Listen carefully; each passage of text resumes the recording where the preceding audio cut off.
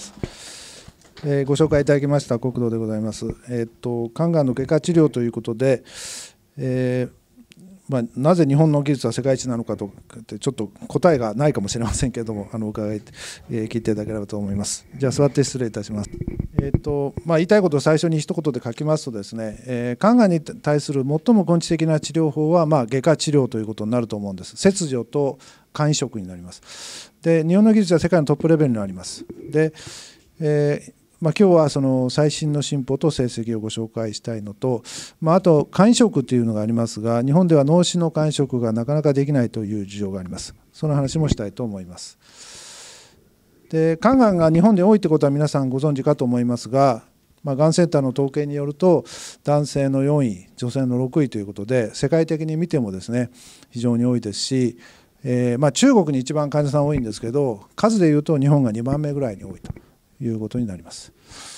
で肝がんはあのいわゆる肝炎ですね。B 型肝炎 C 型肝炎が原因になることが多いということが知られていると思います。で日本はですね長い間この C 型肝炎にからの肝がんが非常に多かったということがございます。で B 型肝炎はあんまり変わらなくて大体15から17%ぐらいだったんですが見てお分かりになるようにですね B でも C でもない非 B 非 C って書いてあります。こういう方がですね実は今じりじり増えていてえこの内科の統計でもですね3割ぐらいになりつつありますが我々外科から見るとですね切除できる患者さんの半分をもう超えているような状況になっております。ですから少し様変わりしているということがあると思います。でこの B でも C でもない肝がんの背景っていいますか原因をちょっと見てみると、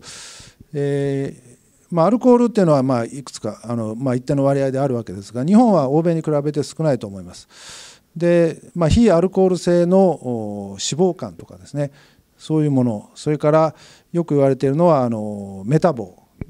えー、なんています？生活習慣病由来。糖尿病とかですね。高血圧とか高脂血症。そういうものと関係のある、え、肝がんが今増えています。それからもう一つ、まあ、あの過去に B 型肝炎が感染して、えーまあ、治ってる方も実はかなり入っているというふうに言われています。で肝がんの患者さんの治療成績ですけれどもこれはあの日本肝がん研究会というのがもう50年以上前からですね全国の調査をやってまして5年生存率で見るとどんどん良くなってて当初はですね9.5%ってもう肝がんというのは非常に成績の悪いがんだったわけですが今一番新しいデータだと44%、まあ、肝がん進行している人から進行していない人全部入れてのひっくるめての数ですけれども、えー、こういう数字が出ています。で世界的に見るとですね、えー、まだまだ実はこの辺の国が多いんですね。えー、日本のようにかなり成績がいい国というのは非常に稀だと思います。それともう一つあの注意しなきゃいけないのは肝がんの患者さんの年齢です。で昔はですね昔はっていうのは20年ぐらい前は実は50代ぐらいの患者さんが多かったんですね、えー、その頃まあ B 型肝炎 C 型肝炎の方が多かったわけですがそれがどんどんどんどん高齢化して今はだいたい70歳ぐらいになっています。で外科の患者さん外科医から見るとですねもう70代の患者さんは普通にいるというそういう状況になっていると思います。で治療法ですけれども、えーまあ、大きく分けると手術と手術じゃない。非手術ということで手術は先ほど言いました切除と肝移植それから手術じゃない治療というのは肝動脈側線療法。それからラジオ波。それからまあ抗がん剤。実は抗がん剤というのはあんまり今なくて、まあ、全身薬物療法ということでこれについては最近非常に進歩してますのでこの後池田先生から詳しくお話があると思います。でまず切除ですけれども、まあ、簡単に言うとがんを切り取るということでがんがんだけじゃなくてその周りのですね、え組織も一緒に切り取る。詳しくは後で説明したいと思います。それからもう一つ有力な治療法がラジオ波というのがあります。これは超音波ガイド化にラジオあ、まあ、針を刺してですね、えー、まああのあれと同じですね、えー、例えば電子レンジと同じような形でちょっと周波数が違いますが、えー、熱を熱でまあがん組織を殺すということで、まあ、焼き固めるということになると思いますがこれは、えーまあ、大きさでいうと小さいがんですね3センチ以下理想的には2センチ以下と言われてますけどもそういうがんに非常に適した治療法と言われています。それからもう一つがんがんに特徴的なのはですね血管が多いんですね。血管というのは動脈なんですけれどもここにこのこのがんでいうとですねここにまあ、がんが大きながんがあるわけですけどそれを養う動脈が非常にこう発達しているのが分かると思います。ですから逆に言うと血管がな血流がなくなると弱いわけですね。ですからこういう特徴を利用してですねこの血管を塞いでここに抗がん剤を、ま、混ぜるようなですね TAE あるいは TACE という治療がこれはま日本で開発された治療なんですけれども広く行われています。ただこれはあの根治療法とはちょっと言いにくくてあのまあ99%まあがんを殺したとしても1%ぐらい残っていて長い間にまた再発するというふうに言われていますまあ言ってみればがんを兵糧攻めにするという治療法になると思いますで今日本でですねどのぐらいの患者さんがいるかというと年間まあ4万人ぐらいと言われてると思います。で、えーと、そのうち1万人ぐらいの患者さんをですねこの全国追跡調査で実は調査できてるんですけれどもそれでよるとですねまあ大きなあのメジャーな治療法は3つですね。関節除とラジオ波とこのテイス側線療法。でこれはちょっと古いあの調査なので今あの使われている分子標的薬は入っていません。ですのでここにですね、まあ、2009年からソナフェニブあのネクサバールという薬が使えるようになって、えー、10年経ってやっとですねレンバチニブとかあ、えー、あの新しい薬が3つぐらい出てきましたので、まあ、今はですねこういう形で分子標的薬あるいはあのがですね使われるそういう時代になっていると思います。で外科の治療をちょっと詳しくお話ししますと、まあ、2つあって関節はまあ言葉はっきりと根こそぎ取るそれから感触は肝臓を取り替えるということになりますがこれがあのちょっと先ほどご紹介あったガイドラインのですね治療法なんですけどこれがまあ全体の図で見たことあることもあるかもしれませんがまあ、あのどういうことで決めるかというとまず肝の予備能ですね。肝機能が悪くなるとやっぱり、え、たくさん肝臓を取れないとかそういう状況が出てきます。それをチャイルドっていう人が作った ABC の3段階で評価します C がま悪くて C の場合はですね、えーま、肝臓がかなりあの生命を保つのに、ま、やっとのやっとぐらいの状況になってるということなので実はほとんど治療ができません移植以外はですね。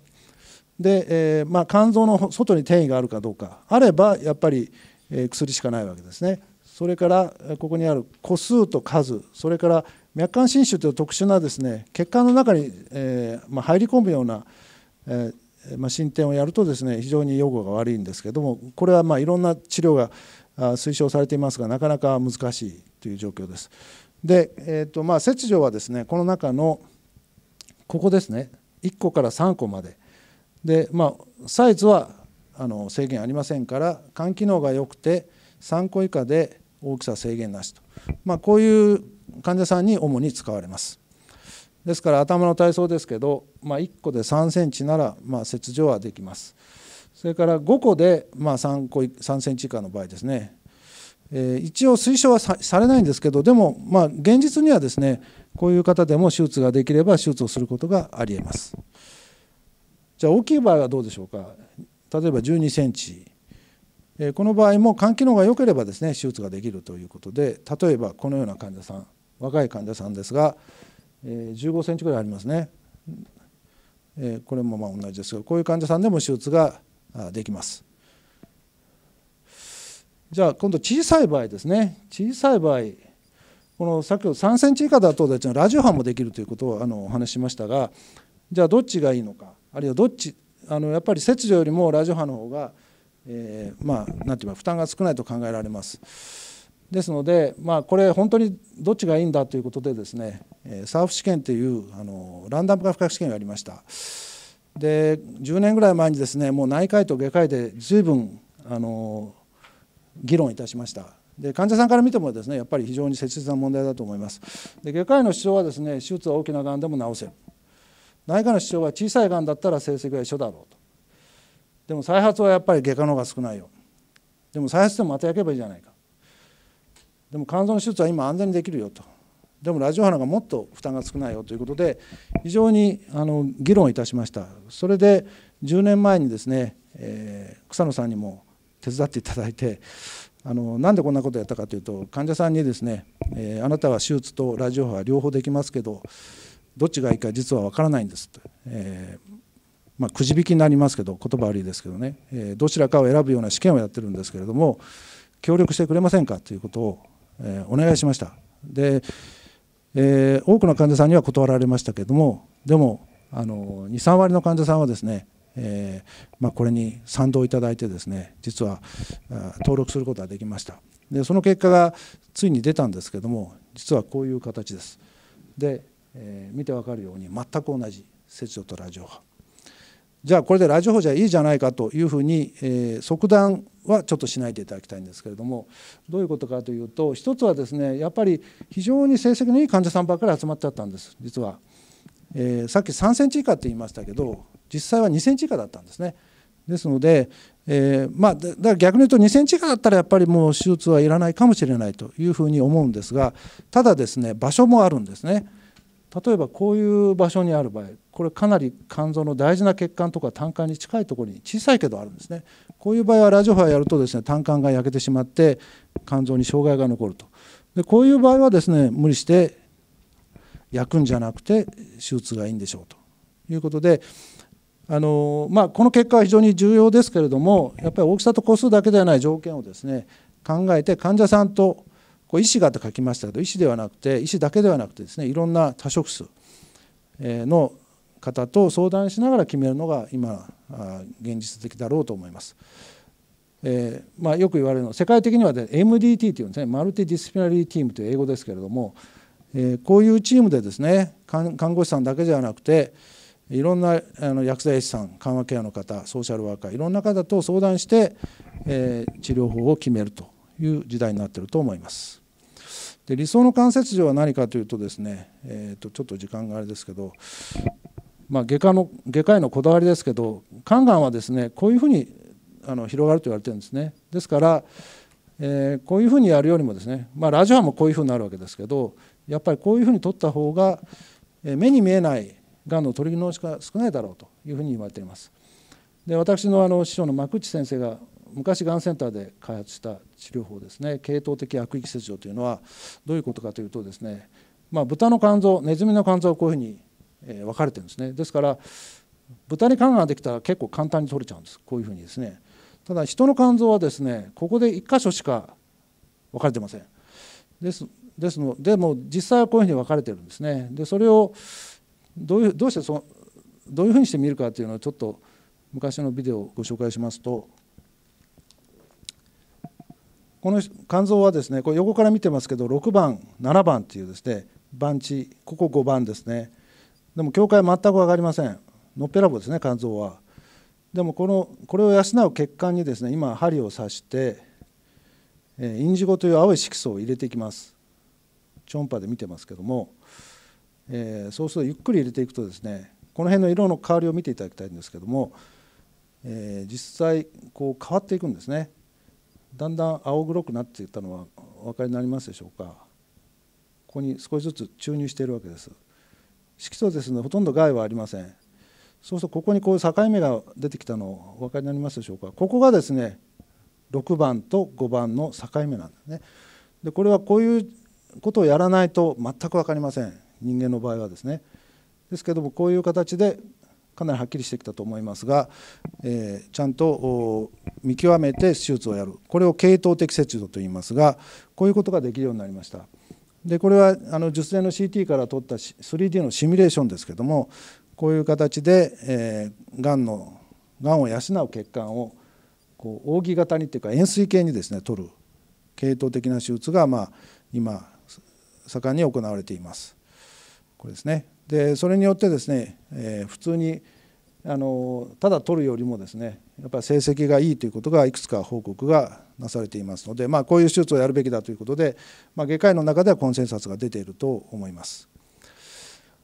で、まあ、関節除2万例ですね全国でやった結果がこう報告ありますが切除ができれば5年生存率は56%ぐらいただ見て分かるようにですね普通のがんはここでこう横になっていくんです。水平になっていくんですが肝がんの場合は残念ながらその後もまだ落ちていくということで、えー、再発が多いということが言えると思います。10年生存率になると32%下がってきます、えーもっと有名なグラフはですねこれ、えー、サバイバーの5年相対生存率というのがんセンターから出てますが要するに5年生きたらですね例えば膵がんとかだと5年生きるともう治ったと考えられるんですが肝がんだけ5年生きてもですねここなんですね。ということは5年の後にまた再発する、えー、ということがここで分かると思います。ですので再発率で見るとですね関節上できても5年で7割から8割から再発します。これは非常にあの驚くべき数字かと思われるかもしれませんが、まあ、その後でまた治療ができるということが重要だと思います。でいつ再発が多いか見るとですね2つピークがあって、まあ、1年目ぐらいにあるのはですねやっぱり手術した時に見えないがんが残ってたんだろうというふうに考えるべきだと思いますがもう一つのピークはですねやっぱり第2第3の発がんがあるというふうに言われています。でこれはあのウイルスであればウイルスが原因になっていると。でウイルスでない場合がですねまだよく分かってないんですけども肝硬変になっていれば肝硬変ということ自体がですね原因になるというふうに言われていますですから肝がんは再発が多いんですけど治らないがんではないし適切な再治療2回目3回目の治療でですね、えー、まあ、治ることもあるし通常の社会生活が十分可能ながんであるというふうに、えー、思います。例えばこんな患者さんはですねこの患者さんは4回手術をやりました。えー、非常に癒着しているのが分かると思いますがそれでもお元気にですねもう10年以上お元気にされています。ですから私どもの外科ではですね1回目2回目3回目切除ができるなら頑張りましょうできなければラジオはあるいは他の治療をやりましょうということで、えー、積極的な治療を進めてまいりましたで最近はですね例えばちょっと時間がないので紹介しませんが ICG の蛍光カメラを使うとですねさっきのこの領域がかなりもっとはっきり分かったりあるいは転移が光ったりですねこういうような新しい治療も今導入しています。それからあの腹腔鏡の手術はあまり時間がないので述べませんけれども、まあ、あのやはり危険もありますのであんまり難しい手術というよりはこう取りやすい場所を中心にですね今行われていると思います。それから後半ちょっと時間があんまりないと思いますが移植について肝がんの移植はですねまあ言ってみれば理想な手術だと思います。というのは肝臓を全部取ってしまいますから一番根治的なわけですねがんを残す心配が少ないでしかも悪い肝臓を取って正常な肝臓を得ますので肝機能も良くなるということで一石二鳥それから第2の発がんがおそらくなくなるだろう肝臓を取り替えてしまいますのでそういうことで、まあ、考えれば理想的な手術ではありますがもちろんいろんな問題もあるということで特に脳死の場合はですね脳死肝移植が日本は非常にあの少ないということが問題になっています。えー、ご存知かと思いますが法律が変わってからですね、えー、一応かなり増えましたけどそれでもですね日本全国で年間80例ぐらいなんですね、えー、こうだと62例ですね。ですから、えー、新聞でもいろいろ取り上げられていると思います。世界的に見ると生体肝移植の数ではこの辺にいるんですが脳死ではここです。こんなに少ないと。いうことで、まあ、いろんな問題があるんですけれども、えーまあ、今日は時間がありませんのでこの話はちょっと先にしたいと思いますがですのでこれまでに446例平均ただこの待ち時間が非常に多いんですね。2年から3年登録してから。ですので肝がんの患者さんは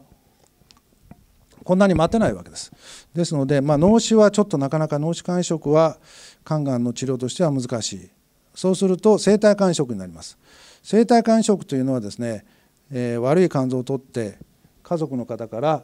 この肝臓の大きこれだと大きな部分ですね3分の2をいただいて、えー、こうなるわけです。ドナーはこれだけしか残らない。でこちらを植えて移植して35%がでも再生する。でこちらも再生するということで、まあ、結局元の肝臓が2倍になったような形になる、まあ、肝臓の再生能力を使った非常に素晴らしい治療なんですがやはり生体肝職員、えー、生体ドナーになるですね条件がいろいろありまして、えー、当然自発的な意思がないといけません。強制されるものではないですし三親等以内の血縁者かあるいは結婚相手ですねあの夫婦間でやることもあります、えーまあ、いろんなあの条件がありますということで日本でどのぐらい行われているかというとですねそれでも今までに9,000例今1万例超えてるかもしれませんで、えー、年間大体400例ぐらいでそのうち100例が肝がんに対してだからこれはほとんど生体肝移ということになります。で生体肝移どこで進められているかとここですね。ですから肝機能が悪くてこのミラノ基準内ということになります。で皆の基準内というのはどういうことかというとですね、えー、こういう条件です。えーまあ、1, 個1個の場合は5センチ以下3個以下で3センチ以下で肝臓の外に転移がなくてあの血管の中にまあ、染み込むように発達してないということでこれをミラノ基準といってミラノのマッツァ・フェロという先生がまあ最初に発表しましたのでこういう名前になっています。でまた頭の体操ですけどミラノ基準を満たしてますか？1個4 5センチ。これは満たしてますがこっちは満たしてないんですね。あの1個が3センチ超えてますので2個でもダメです。であのただですねミラノ基準は非常に厳しすぎてですねもうちょっと広げていいんじゃないかっていう議論がかなりあったんですね。もう20年以上あったんですがなかなか、えー、進みませんでした。それで、えーと、日本でですね、えー、こういう基準を作りましたこれはですねその松田フェローさんが作ったですね個数プラスサイズとこの AFP っていう主要マーカーで、え、移植をやったの生存曲線をこういう等温線みたいなのを作ったんですね。そうするとやっぱり70%ぐらい欲しいんですね。70%ぐらいないと肝移植の意味がないじゃないかということで日本では実は5 500ルールというのを作りました。でこれは何かというと5センチ以下5個以下この AFP という主要マーカーが500以下という。こういう条件です。これは日本の全国データを使って去年あの認められてですね、えー55500ルールということで覚えやすいと思いますので記憶いただければと思います。こういう条件であれば、え今脳死はもうこれで登録できるようになっておりまして、えー、と生体肝移植の方もですね、まあ、うまくいけば今年中ぐらいに、え保険適用になるんじゃないかと思います。だから先ほどの基準で言うとですねミラノ基準を満たさなかったこれでもですね55500は満たすわけですねあのアルファベットプロテインが500以下という条件ですけどということでえー、まあ、そうしますとですね肝がんのこの関節と肝移植の、まあ、守備範囲というのがあると思います。で肝がんの治療はですね肝がんの進行度とそれからさっき言ったように肝機能で決まるわけですね。そうすると関節上は肝機能が良くて肝がまあ結構死んでる範囲までできると。で肝移植の場合は、えー、どっちかというとあんまり進行してるのはできない。55500まで。でだけど肝機能悪くてもできるよと。じゃあ肝機能がまあまあいい人はどうしますかと。ここですね。両方できるじゃないですか。ということになると思います。でこれについてはまだに結論がないんですがまあ、皆さんちょっと見ていただいて、えー、ちょっと考えていただきたいのはこれがですね関節上の後、まあ、ミラの基準ないということで、えー、肝機能のいい人はですねチャイルド A というの一番いい人ですがあ欧米ではですねチャイルド A このいい人でも移植をやります実はで日本の場合はやりません日本は ABC の C しかやりませんで移植の成績をこう重ねてみますとこういうふうになるんですね。ですからこれ見て分かるように移植のいいところはですね5年過ぎても落ちないってことなんですね。ですから肝臓を取り替えるという効果だと思います。ただし一生免疫抑制剤を飲めないといけません。ですのでこういう特徴があります。でまあ見ていただきたいのはですね、えー、5年の間ですね。5年の間はどっちかというと関節治療の方が良かったりするわけです。というのはやっぱり移植の手術のリスクというのがありますので。ですのでこれをどう考えるか。ですから今のところはやはり生体肝移植がそんなに自由にできませんので肝機能がいい方は関節上をお勧めしています。ただし悪い方ですね。B の方は切除はできるけどやっぱり成績悪いのでこういう方はですねこれからあの保険が認められて移植ができればいいなというふうに思っています。ただ先ほど言いました肝移植はイムノ治療ではありません。ドナーが足りませんし年齢制限があります。患者さんはやはり65歳以下まあ、マックスでも70以下ということになってますので先ほど言いました肝がんの患者さんは70を超えているのが当たり前の時代ですのでほとんどの患者さんは実は肝移植できないわけですね。そういう問題。それから免疫抑制剤をやっぱり一生原則服用しなきゃいけない。それから肝がんが再発してしまうとですね移植の後これはもう実はちょっと治らないんですね。ですからそういう問題もあります。ですので再発しにくい患者さんをこの55500ルールで選んでやるのがいいだろうと思います。ちょっと時間が延びましたが、まあ、肝がんになったら日本へ行けということで、えー、肝がんの世界、まあ、治療は日本のレベルは高いと思います。でどういう病院でやるかというとですねあの先ほど胆管がんでもお話ししましたように日本肝胆水芸学会の修練施設とかあるいはこのがん診療拠点病院ですねこういうものはホームページで公開されていますのでそういうものは紹介あの参考にしていただければと思います。ということであとはまあこういう資料もやっておりますので、えー、興味がありましたらご連絡いただければと思います。ごあのご清聴。ありがとうございました。